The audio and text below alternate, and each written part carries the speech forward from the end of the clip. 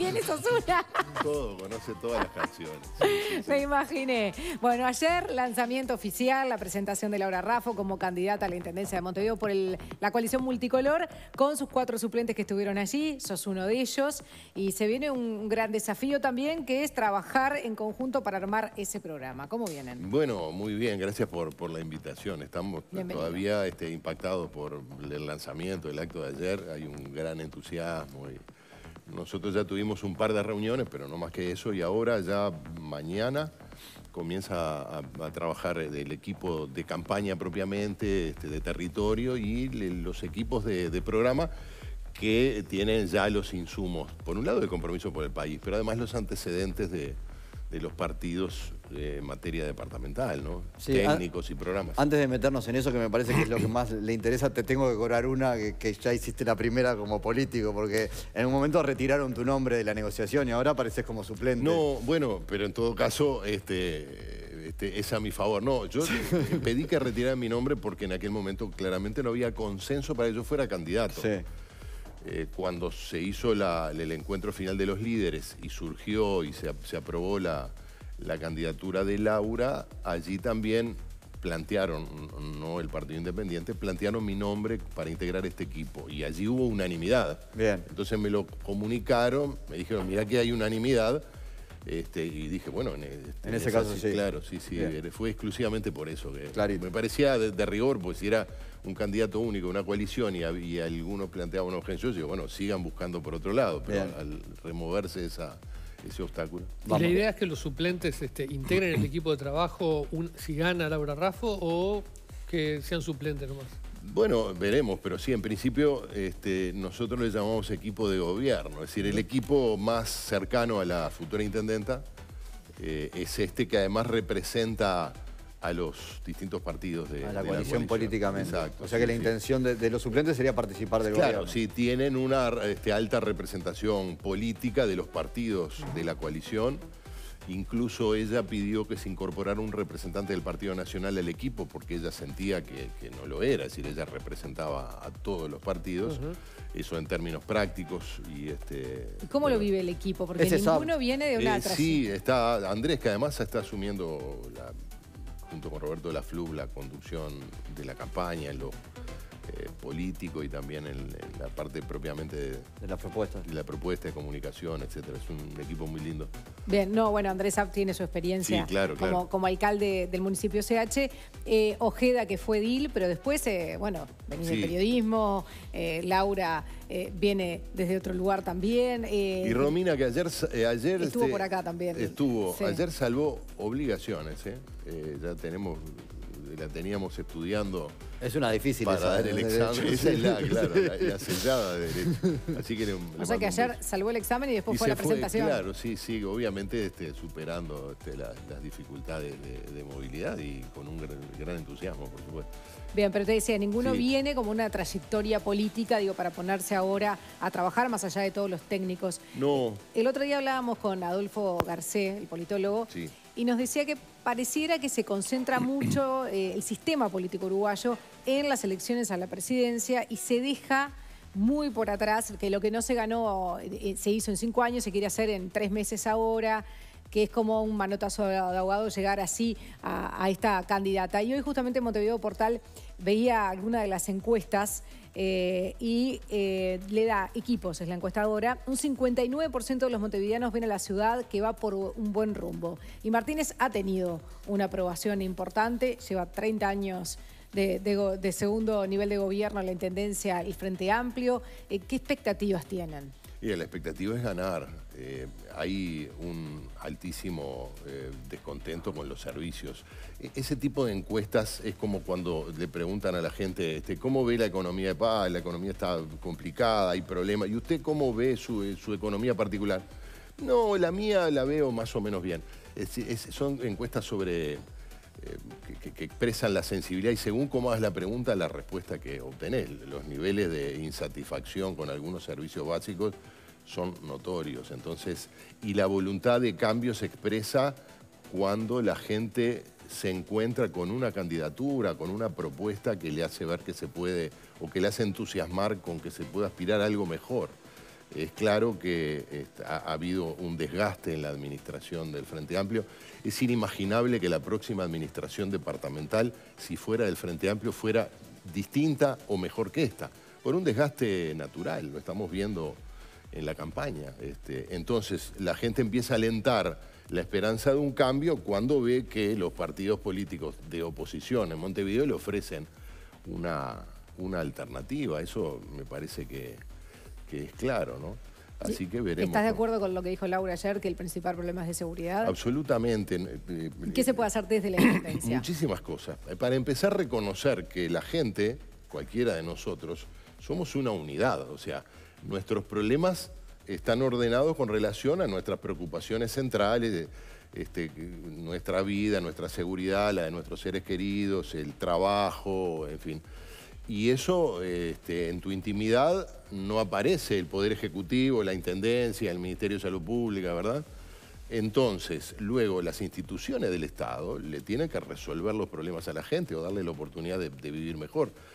Desde la Intendencia es claro que se debe trabajar en temas de seguridad, obviamente respetando las competencias constitucionales, pero mirá, me escribían eh, vecinos que están en una agrupación que se llama Casaballe de Pie, que tienen serios problemas de transporte de pasajeros, porque incluso algunas, algunos trabajadores han resuelto no entrar en determinadas zonas por problemas de La línea 405 dejó de entrar. 405 concretamente. Ahí tenés un problema concreto que afecta, por un lado, al Ejecutivo, al Ministerio del Interior, la política de seguridad, que un ómnibus llegue a tiempo, que se cumpla un horario, que la calle esté iluminada, que la plaza por donde atraviesa la vecina esté con un guardia o por lo menos con este, una iluminación. Todo eso tiene que ver con la seguridad y en todo ese recorrido aparece implicada, en este caso, la Intendencia de Montevideo. Está bien, e-, esas son cosas que se pueden hacer, y sin duda. Pero yo pensaba cuando escuchaba a Rafa hablar de seguridad como principal problema. Es cierto eso. Pero me hizo acordar también a, a Cose y a Martínez que em, empezaron sus discursos hablando de la ley de urgente consideración. Que yo digo, bueno, son candidatos a a, la Intendencia están pensando en, la campaña y esto no es un poco eso también, es decir, la seguridad está bien, es, el principal tema que tenemos hoy, uno de los más principales. Pero lo que la Intendencia puede aportar será un 5, un 10, un 15% a, a, lo sumo de la solución. Yo no, creo, porque es un énfasis, o sea, vos te haces cargo desde la Intendencia de un, del problema más importante que tienen los vecinos de Montevideo. Obviamente aportás lo que podés aportar en el caso de la referencia de los candidatos del Frente, era este, buscar eh, debilitar al, futuro oficialismo en una ley que es extremadamente compleja, pero sin hacer ninguna vinculación con lo departamental. Lo que estamos proponiendo nosotros es lo inverso, es decir, a ver, ¿cuál es el problema principal de la gente de Montevideo? La seguridad. ¿Qué se puede hacer desde la Intendencia? En el corto plazo todas estas medidas, pero en el fondo las políticas sociales que vos podés desarrollar desde la Intendencia, políticas de inclusión, eh, en fin, desde... ¿No se han hecho de esas cosas recuperación de espacios públicos? Eh? Si se han hecho, el resultado ha sido pésimo, porque lo que estamos viendo son pero capaz que el, mayores, el, resultado pésimo, Está bien, pero capaz que el resultado pésimo en materia de seguridad no tiene que ver con que la Intendencia no haga el aporte de acuerdo, necesario. no será porque el Frente Amplio no tuvo oportunidades a nivel nacional y a nivel departamental. Y, bueno, el, mismo, la, la misma sensación de hastío que terminó consagrando un cambio a nivel nacional, con realidades electorales distintas, eso lo reconocemos de luego, eh, también expresa eh, tanta gente que se muestra entusiasmada. Claro, pero por ejemplo, eh, llegamos a un punto donde Daniel Martínez en este periodo le escribió una carta a Vázquez por un tema que en algún punto tiene que ver con la seguridad, no solo con eso, pero tiene que ver con la seguridad y son las personas en situación de calle. Bueno, pero ahí tenés un caso claro de cómo este, un gobernante del mismo partido que otro, uno del nivel departamental y otro nacional, el departamental sintió que tenía que desmarcarse de las carencias de las políticas que estaba implementando su propio partido en el gobierno nacional. ¿El resultado cuál fue? Ninguno. Y si yo te pregunto, por ejemplo, de ese tema... ¿De qué tema? Las personas en situación de calle, ¿qué hay que hacer entre el gobierno nacional y el gobierno departamental para solucionarlo? En, en, la ley de urgente consideración hay eh, un capítulo, hay varios artículos que busca mejorar el problema de las personas en situación de calle respetando los derechos de las personas. Lo que no vamos a hacer es hablar de, este, como dijo alguna jerarca de la Intendencia de Montevideo, de derecho a la habitabilidad de la calle. Eso es una monstruosidad. Nadie tiene derecho a vivir en la calle porque nadie debería estar obligado a vivir en la calle por las razones que sea. A lo que tiene derecho, y así se busca en, el proyecto de ley de urgencia, es a que se le dé una mano para poder vivir en un lugar digno, pero convertir eso en un derecho es realmente este, un razonamiento perverso. De manera que en línea con lo que se propone en la ley de urgencia, pues se instrumentarán medidas porque también es cierto, primero que la calle no es un lugar digno para que viva nadie, eh, también eh, eh, son personas que tienen problemas extremadamente agudos, personales, problemas de adicciones, problemas muchos son este, ex reclusos. Pacientes psiquiátricos. Pacientes psiquiátricos, a veces derivados de, la, de, las propias adicciones. o de la reclusión en las condiciones en las que está. Exacto, pero está claro que la respuesta que le dio el Estado, que le dio el Frente Amplio, ha sido absolutamente inadecuada e insuficiente. De lo que se trata es de consagrar, de armonizar el derecho de todos. Es verdad que el vecino, este, vas a cualquier barrio donde hay personas viviendo en la calle, y los vecinos están realmente este, asolados. porque Son personas que tienen un tipo de vida que es a veces incompatible con los derechos de los vecinos. De lo que se trata es de generar las condiciones para que esas personas eh, puedan tener un lugar digno. Y, se cruzan con otros problemas mucho menos graves socialmente, pero que también son competencia de la Intendencia, entre ellos ni más ni menos que la limpieza y la basura, ¿no? Claro, sí. Pero en el caso ese de las personas que viven en la calle... Y donde la Intendencia sí tiene el 100% de, la responsabilidad. claro. claro. Por, eso es que a mí me chocó un poco lo de seguridad versus, no versus, pero digamos, un problema en el cual pueden incidir poco contra problemas donde la, Intendencia tiene que hacerlo bueno, todo. Ya le gritaron, Laura dijo, acá me dicen basura, también. No, claro, no, pero lo que discrepo es que yo creo que se puede incidir mucho desde la Intendencia, pero es cierto que problemas específicos de la Intendencia, eh, le, le preguntaba a una colega a Laura acá en Telemundo. Dice, ¿cómo vas a resolver el problema de la basura? Por supuesto que todavía no está detallado el programa. yo digo, lo que es seguro es que el Frente Amplio no va a resolver el problema de la basura porque este, ha tenido 30 años para hacerlo y no lo hizo. Es cierto que cambió, pero cambió todo en estos 30 años desde aquellos basurales crónicos que en el, primer gobierno, el de Tabaré Vázquez en la Intendencia, se atacó de una manera decidida, se logró bueno, reducir bastante o casi hacer desaparecer, pero la realidad de hoy es otra, el consumo es mayor, este, la disposición final de residuos es este, mucho más voluminosa. Ahora, que fracasó la Intendencia en algo tan elemental, la Intendencia de Montevideo, como la recolección de residuos, de eso no cabe la menor duda, pero antes de eso fracasó porque no fue capaz en todos estos años de alinearse en lo que es una práctica en todo el mundo, que es la de la clasificación domiciliaria de residuos. Es una vergüenza que Montevideo no tenga aún, porque además fue peor, lo intentaron en algún momento, se le complicó y allá quedó por el camino. Una clasificación domiciliaria, primero, de los residuos, es realmente llevarnos a 40 años atrás. cómo es la, población en eso? Porque también hay una tarea que es nuestra, de información, de entender cómo hacerlo. Muchos se quejaban de que no tenían espacio para hacerlo. Bueno, sí, pero este, tampoco hay espacio en Ámsterdam o yo qué sé, o en Milán para hacerlo. La gente vive probablemente en espacios más reducido y se hace igual. menos metros cuadrados. Claro, ahí hay un elemento que ha funcionado mucho en el tema ambiental, en el tema del consumo de sustancias psicotrópicas, particularmente de, tabaco y alcohol, que ha sido la educación a nivel escolar, es decir, las, los niños, las niñas sensibilizando a los adultos sobre lo que hay que hacer. Este, yo lo veo con mis hijos chicos, y, papá, las pilas, ¿dónde tiramos las pilas? ¿Qué hacemos con esto? Yo, este, no sé, déjame ver qué podemos hacer porque no está todavía previsto este, Claro, hay algunas alternativas, pero no, lo tenemos culturalmente incorporado. Si vos te pones a fijar en tu barrio, seguramente tengas un lugar donde llevar la pila, después tengas otro lugar donde llevar los residuos eh, pero es investigar. reciclables. Después la, basura orgánica en otro lado la podrías hacer en tu casa y podés tirar la basura común en el, contenedor.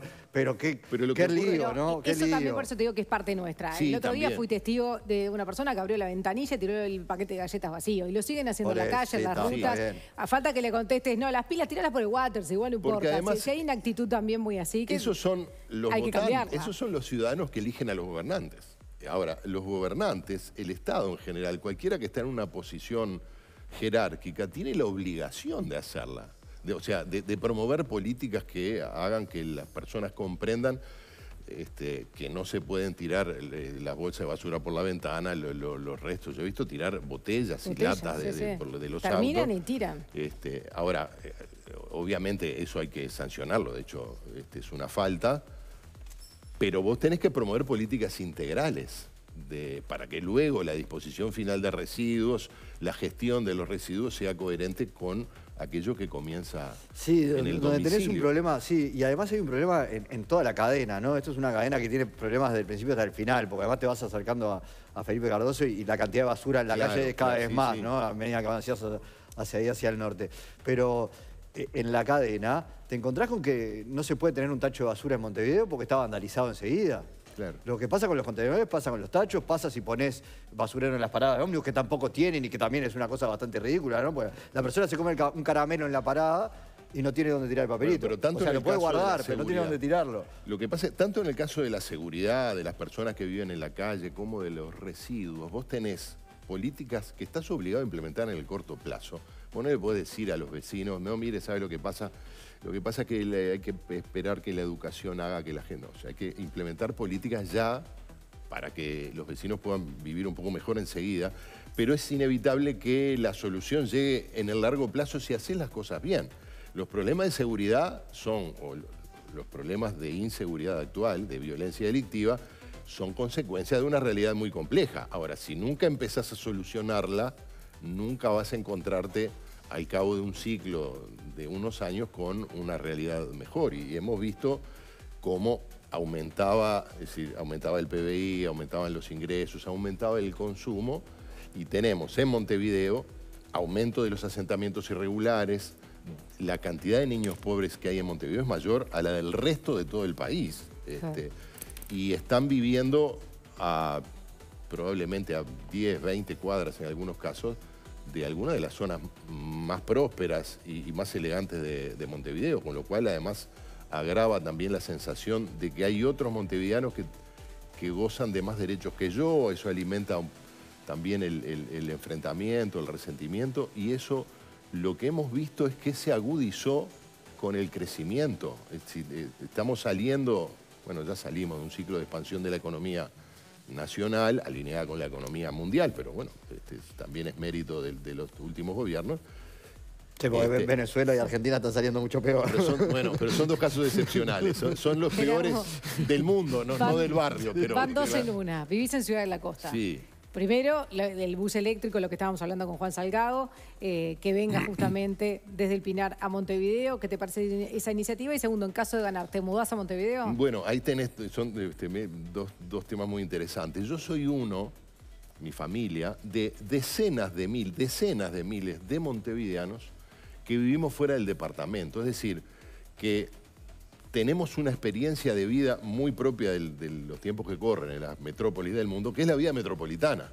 Eh, vivís, vivís, tenés tu casa en una circunscripción electoral, pero sentís que perteneces a otra. Yo voto en la ciudad vieja desde que estoy inscripto, este, desde el año 1980. Nunca trasladé mi credencial porque yo me siento más que montevideano del barrio Palermo, pero básicamente montevideano. Y compartís los destinos, los problemas, las inquietudes y las expectativas de las dos comunidades. Eh, tengo a mi madre, a hijos, este, parientes viviendo en Montevideo y yo siento que soy un montevideano que está en el exilio por razones. Disfruto mucho, también me, preocupa la, la realidad local, pero soy uno en decenas de miles que entran y salen lo que pasa es que es muy difícil de entender eh, jurídica, políticamente, hasta administrativamente, la separación por el arroyo, porque en realidad... Eh, no es un exilio, es la zona metropolitana. Totalmente, pero es lo mismo que con el tema de seguridad. Si los problemas de las realidades y las expectativas de la gente no reconocen fronteras territoriales o temáticas.